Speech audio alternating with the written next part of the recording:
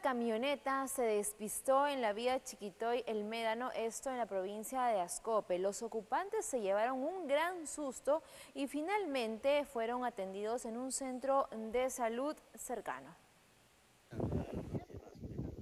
En una acequia en la vía que conecta el distrito de Santiago de Cabo en Ascope con la carretera costanera, es donde terminó una camioneta que sufrió un despiste luego de que su conductor perdiera el control.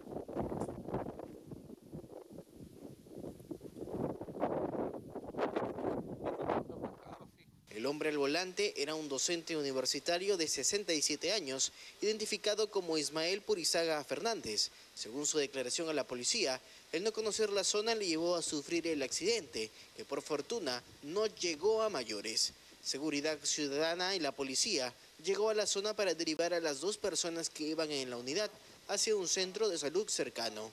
Anteriormente ya se han registrado accidentes en el lugar. Algunos pobladores cuestionan la construcción de la vía, conocida como el Médano. Menos mal que no ha habido muertes acá en este lugar, pero hago esta razón como para que la policía o cualquiera... Eh, esto va a ser publicado a través de las redes sociales. Acá había una reja la cual ha sido robada, ha sido robada por gente desconocida.